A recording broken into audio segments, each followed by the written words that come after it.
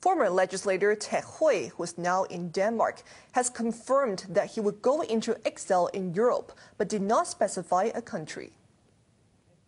Earlier, in an interview with Danish newspaper BT, Hui said he was not sure if he could return to Hong Kong.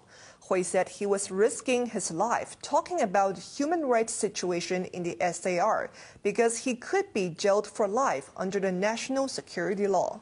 He said his family felt threatened after being stalked. Hui faces nine charges, including disrupting proceedings in the Legislative Council. Hui said that he's resigning from the Democratic Party.